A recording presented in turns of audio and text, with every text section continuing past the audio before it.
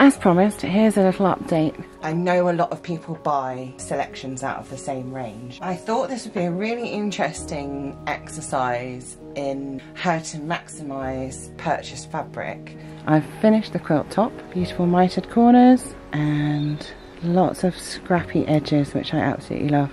This started out as four meters of fabric and I tried to use absolutely everything. This is all that's left.